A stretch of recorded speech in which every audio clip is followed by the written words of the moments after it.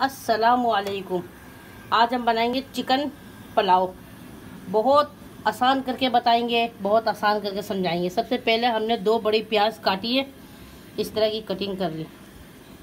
चूल्हा जलाया, ये हमने हमारा पतीला रख दिया। अब इसमें एक छोटी प्याली हमने ऑयल डाला। प्याज जो कटिंग करी थी, ये डाल दिया हमने।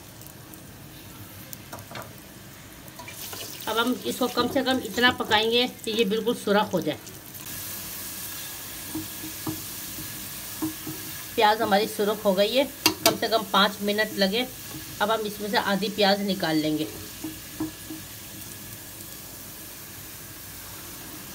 आधी प्याज हमने निकाल ली और आधी इसी में रहने देंगे।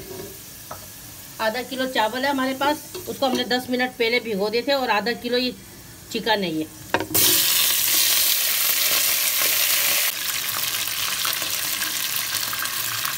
दो बड़े चम्मच लहसुन अदरक का पेस्ट है इसमें हमने हरी मिर्चें पीस ली थी। ये हमने इसमें शामिल करा।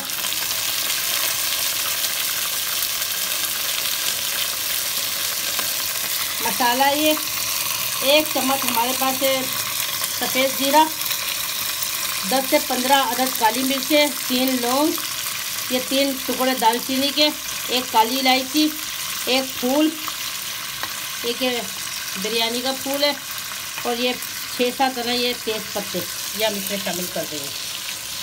कम से कम, अब हम इसको कम से कम पाँच मिनट तक इसी तरह भूनेंगे इसको। पाँच मिनट हो गए हमें भूनते हुए से अब एक बड़ा टमाटर हमने काट के इसमें डाल दिया। एक छोटी प्याली हमने दही ले ली।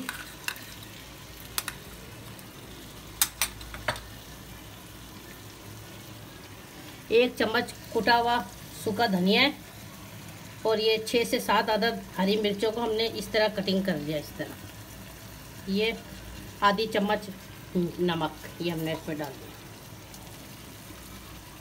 अब हम इसको एक से दो मिनट भूनते हैं इसको। अच्छे से मसाला भुना गया हमारा। अब हमारे पास पानी है, पानी अपने हिसाब से डाल सकते हैं आप।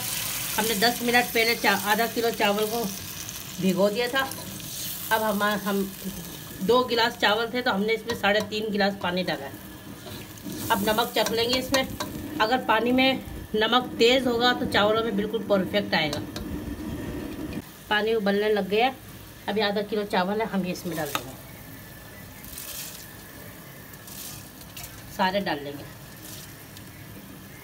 सारे चावल डाल दिए हमने। भाई पानी हमारा, अब इसमें आधी आधी चम्मच पिसा हुआ गरम मसाला डाल दिया हमने। कम से कम कम से कम दो से तीन मिनट तक हम इसको ढक के पकाएँगे। पाँच मिनट हो गए, माशाल्लाह माशाल्लाह से बहुत मज़े की हमारा पुलाव तैयार हुआ है। ये देखें। अब हमारे पास एक छोटी प्याली हरा धनिया है, हम ये इसमें शामिल कर देते हैं। अब हमने इसको अच्छी तरह मिक्स कर दिया। अभी हमारे पास जर्दे का कलर है ये। ये हमने सूखा जर्दे का कलर लिया ये देखें। दो तरफ़ लगा देंगे इस तरह। और ये येलो फ़ूड कलर है। थोड़ा सा येलो फ़ूड कलर हम इस तरह लगा देंगे थोड़ी थोड़ा बस। दो तरफ़ हमने जर्दे का कलर लगा दिया, दो तरफ़ येलो फ़ूड कलर लगा दिया हमने। अब दो से तीन कतरे है ना, केवड़ा है हमारे पास। ये हम सिर्फ़ दो से तीन कतरा केवड़े डालेंगे इसमें। बस।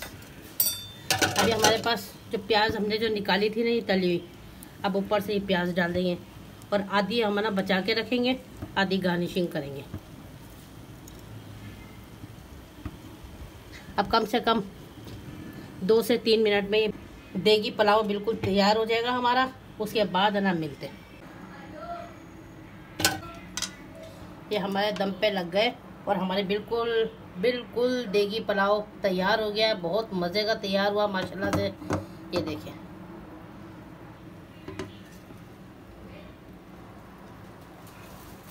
अब हमारा इसी तरह डिश आउट कर लेते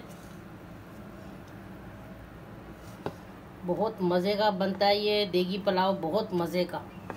खाने में भी बहुत लाजवाब रेसिपी है। आप लोग इसे ज़रूर ट्राई करें। मेरे तरीके से बनाए। इसी तरह हम सब सारा डिश डिश आउट कर लेते हैं। चिकन देगी पुलाव, बहुत मज़े का डिश आउट कर लिया है। खाने में भी बहुत ही मज़े का पुलाव बनता ही है। अभी थोड़ा सा हमने प्याज बचाई थी। ये प्याज हमारा इसमें शामिल कर देंगे। आप लोग इसे ज़रूर ट्राई करें, मेरे तरीके से बनाएँ। अगर मेरी वीडियो आप लोगों को पसंद आ रही है, मुझे लाइक करें। सब्सक्राइब करें। अल्लाह पाक सबको अपनी अमाल में रखे। आमीन। सुम्मा आमीन।